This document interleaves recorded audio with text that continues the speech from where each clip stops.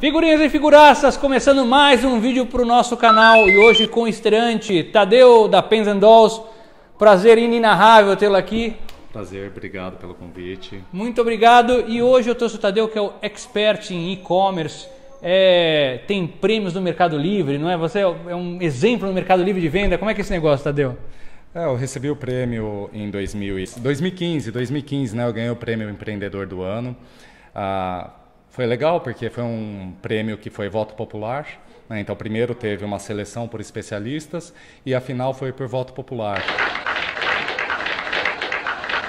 Tadeu é nosso especialista de hoje. Por quê, Tadeu? Assim como eu, tem várias pessoas que são conservadoras, os velhos, né? os velhacos que gostam de comprar na loja, de ir lá até a loja comprar, de bater um papo com o vendedor. Eu acho que deveriam ter meninas bonitas na loja, porque é legal conversar com as meninas bonitas. Só, só, só vê barbado nessas lojas. Eu venho aqui na Iron, parece os Los Hermanos, não tem um sem barba.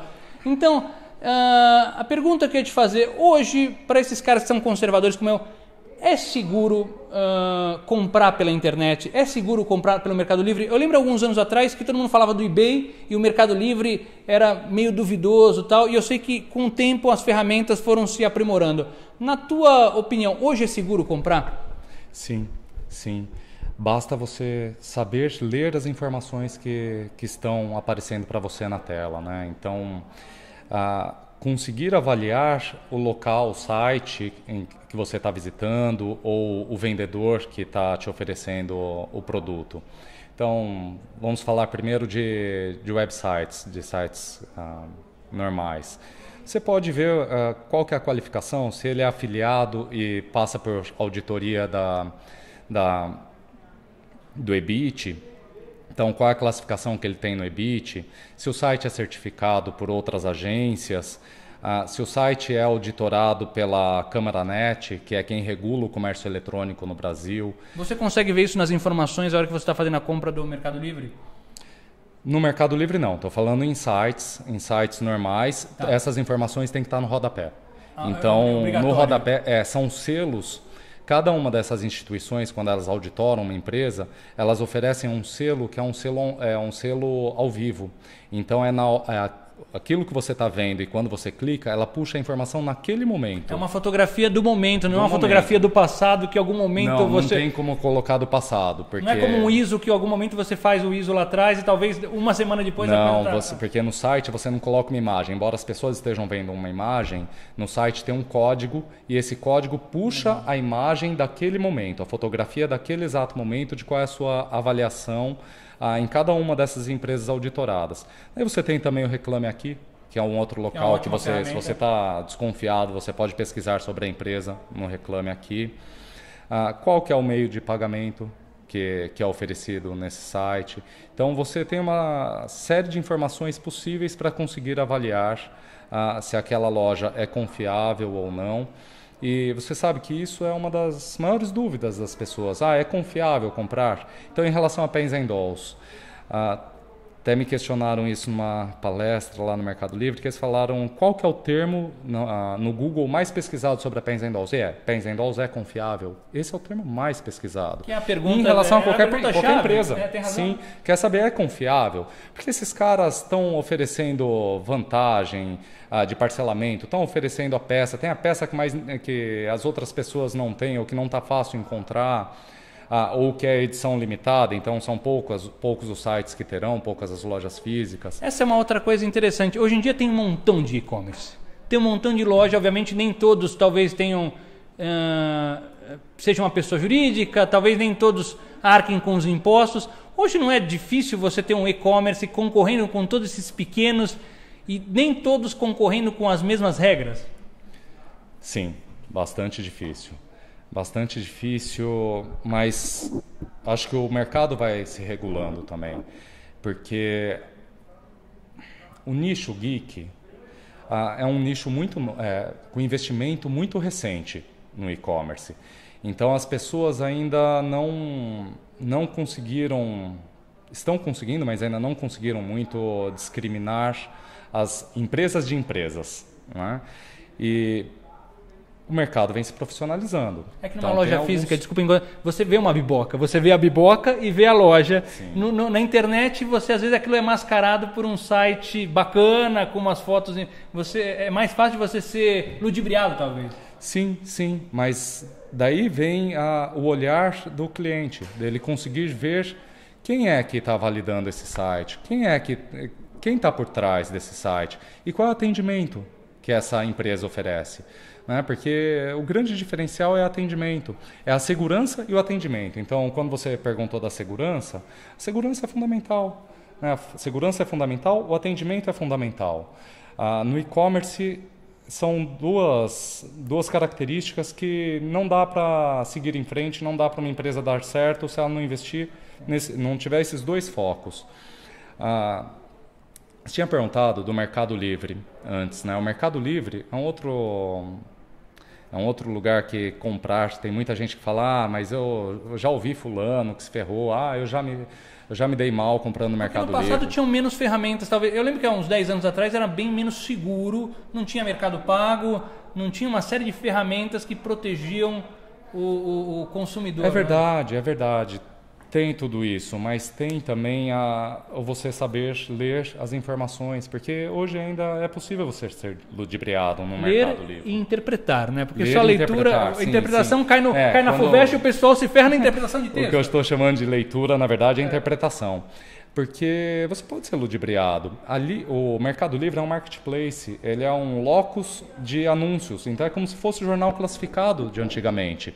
Qualquer um pode chegar e anunciar. Agora, quem é que está anunciando? Então você já tem que saber ver que existem classificações. Existe um termômetro que diz o quão bem ele é qualificado por quem já comprou com ele ou não. Fora isso, você tem, eh, fora o termômetro, você tem as medalhas.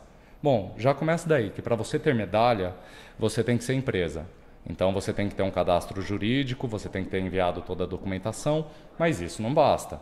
Você tem que ver o que, que falam sobre essa pessoa. Isso é referência a tudo ainda. Mesmo Sim, no, mesmo no, referência a tudo.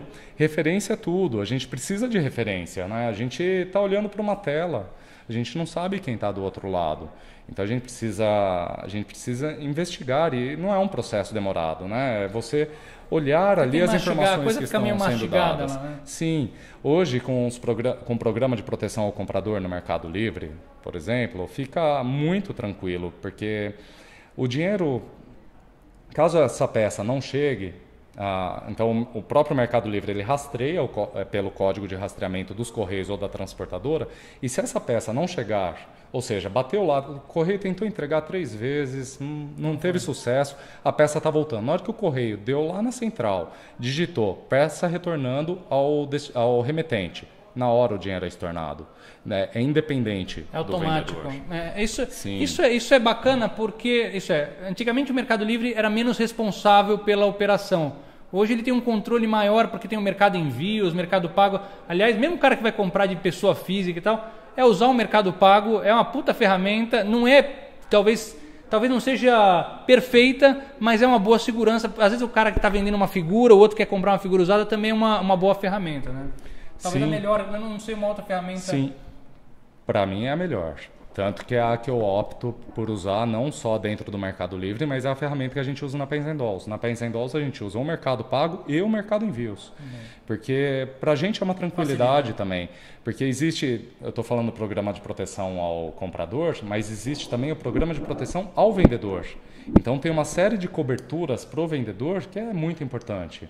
Então o correio deu como perdida a peça na hora. O comprador recebe o estorno, o pagamento dele de volta, e a empresa recebe o pagamento também. Legal. Então é uma segurança, é uma tranquilidade de mão dupla. Eu tenho uma pergunta capciosa agora. Capciosa, hum. pessoal do preço hum. justo, preço justo das figuras.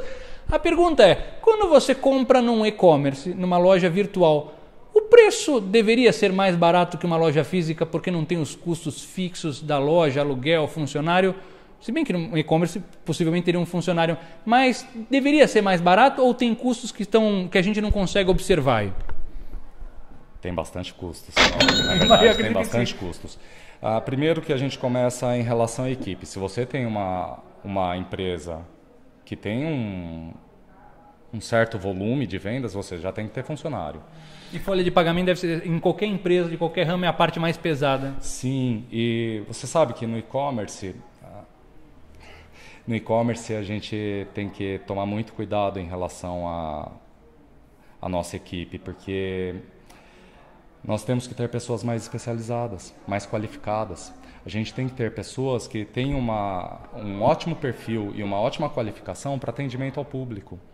Porque, do mesmo jeito que você é desconfiado, conta... muita gente é desconfiada, ou muita gente quer ter um contato humano. E não conta com a estética, porque você não vê, às vezes, a pessoa se fala pelo telefone. É mais a oratória, talvez a, o carisma na, no jeito de tratar a pessoa pelo telefone, pelo e-mail, é diferente. Jeito né? de falar, é jeito difícil, de escrever, é. saber escrever bem. Ah, pessoas que sejam interessadas em conhecer aquilo com que elas estão trabalhando, porque elas têm que, elas têm que descobrir e saber informar qualquer coisa qualquer coisa que o cliente precisar saber ou quiser saber. E tem custo de frete, né? Porque na loja você chega e leva a peça, você vai lá na loja, põe debaixo do braço e vai embora. Então, tem esse custo. É que o custo do frete, a gente em geral repassa para o comprador, né? Mas eh, você pega aí, vai, voltando, custo de, você tem também custo de aluguel, que não é a mesma coisa do que um ponto comercial, mas você tem um custo de aluguel. Ah, você tem o custo seguro. de estoque, sim. Ah, toda a questão de segurança de dados, então você tem que investir em segurança de dados para o seu sistema não ser invadido. Na, a, na loja física, a, tem as regras em relação ao que, que, se troca ou não e tem um bom senso de cada lojista, as regras que daí são estabelecidas pelo próprio lojista. Não obrigatoriedade de, de devolução? Devolução não. É. Devolução não há obrigatoriedade e dificilmente há loja que aceita devolução. No e-commerce é lei. Se a pessoa quiser devolver, se seja pensar, se eu não gostei, ah, você achou que que o que ele está olhando meio torto. Esse Batman está olhando meio torto aqui, eu não gostei. É eu vou ter que devolver. Ah, você não gostou da ponta do nariz. Eu tenho que arcar com a devolução desse produto e o cliente tem o direito de ter o pagamento total estornado. Ah, Se eu tivesse comprado minha patroa pelo e-commerce, eu já tinha devolvido faz tempo. Porque foi numa loja, aí não tem como, né? Pô, aí não tem como, aí não tem como. Na loja não tem como devolver, não. Agora, no e-commerce a gente arca com isso, com logística reversa. Né? E que pode ser por defeito, pode ser pela peça ter chegado com algum problema, porque diferente da loja física também, a maior parte dos clientes, nossos pelo menos, eles não autorizam e não querem que a peça seja aberta. Eles querem receber a peça lacrada, porque é a garantia para ele de que você está vendendo uma peça nova. Então você não pode abrir para ver se está tudo ok com a peça. Uhum. Então você envia a peça e que pode ter algum problema, você arca com custo de devolução. É bem mais complicado. Sim, sim. Ah, o cliente quis devolver por qualquer coisa, mesmo que a peça esteja perfeita, mesmo que ele tenha deixado exposto durante cinco dias na prateleira dele, ele tem o direito ele pode de devolver. até sete dias, se não me engano, da lei, não é? Até sete dias após o recebimento, ele tem o direito de devolver por arrependimento. Chegou em casa, ele expôs lá, apanhou da esposa, ah, não, vou devolver, quero meu dinheiro de volta. A gente arca com custo. Oh, Tadeu, se o casamento fosse assim, eu seria um homem tão mais feliz. E eu tive, ainda numa história, ainda nessa questão de envios e tal. Hoje, cada dia as peças estão mais sofisticadas e maiores, dioramas maiores e coisas. Sim. Você acha que uh, não só o fabricante quando embala, mas você acha que os correios, as empresas que transportam, estão preparadas para levar algo tão sofisticado e tão talvez quebradiço? É, é, é, porque o correio é sempre uma discussão, todo mundo diz, ah, o correio quebrou, tal, etc.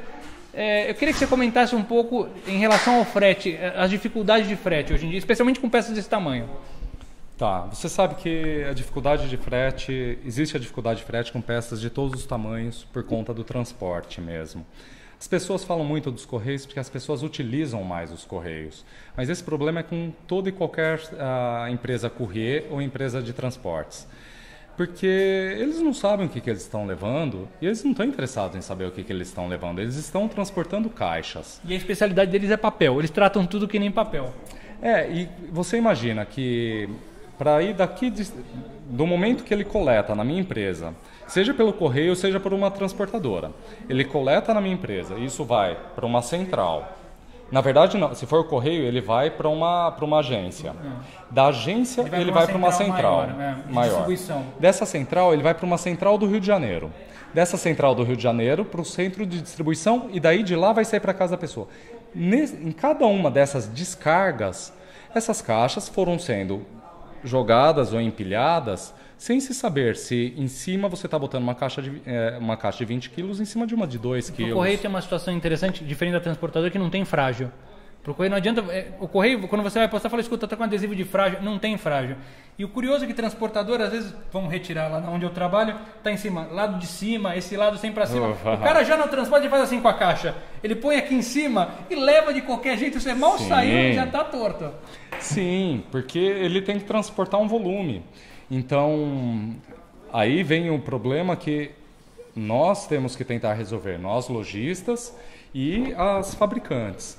Então, a gente está, por tá exemplo, preparado para isso? Não, nós, por exemplo, estamos o tempo inteiro analisando e orçando papelões de diversas qualidades, porque a gente vê que um determinado padrão de caixa não está funcionando, não está chegando legal. Quando o cliente manda uma foto, fala, ah, estou super feliz que chegou, chegou intacto para ele. Mas quando olho o jeito que chegou a caixa, às vezes eu penso que não deveria ter chegado dessa forma. Então vou atrás de ver é então a caixa que da papelão, caixa, a caixa da caixa. É a, ca, é, a, a caixa, caixa interna estava ok, o problema é a caixa externa. Ah, às vezes rasgada, e daí você fala, bom, o correio não vai mudar, as transportadoras não vão mudar, é a mesma forma de trabalho. E você imagina, a gente ainda está falando de transporte rodoviário, mas se você vai para o envio para o Nordeste, vai de avião. Vai de avião eh, em geral, porque da transportadora para o rodoviário demora muito para entregar, ninguém tem paciência de esperar. De avião cai da esteira. Então imagina com, a tua, o teu Batman como é que vai ficar. É, e agora peças grandes está ah, sendo um desafio maior, porque as peças grandes limitam as formas de, as formas de envio. Então o Batman, por exemplo, ele só pode ser enviado por transportadora. Correio não, não aceita o tamanho da caixa. Essa peça. E talvez custe um pouco mais caro, mas eu acho que a, transport... a transportadora talvez seja mais, bem mais segura que o correio, mesmo se fosse possível. Não sei, a impressão que eu tenho é que a transportadora trata um pouco melhor, especialmente se for transportadora local. Daí eu acredito que sim, mas uma transportadora local não entrega em qualquer lugar do país. Não, quando eu digo local, por exemplo, vou mandar Uh, Porto Alegre, um exemplo. Eu pego uma transportadora que está é, sediada em Porto Alegre, tem um escritório aqui em Guarulhos, provavelmente hum, o transporte é mais sim. cuidadoso. Eu, eu fico imaginando que sim, eu fico imaginando que sim. Uh, no nosso caso, a gente trabalha com transportadora que entrega no Brasil inteiro e que daí o custo uh, é bastante alto. Então, para te citar um exemplo, essa peça para ir para Campinas, ela fica 200 reais para ir para Campinas. Se o correio aceitasse esse tamanho, essa peça ia ficar por volta de 90 reais para enviar pelos correios. Então o custo seria muito menor pelo mesmo, pelo mesmo serviço. E daí vem a questão de que de pensar se não tem uma outra forma de produzir as peças e as embalagens das peças que diminuísse o volume cúbico, porque o que encarece não é o peso. É quando dá cubagem pelas é medidas. Cubagem, é. é. a cubagem.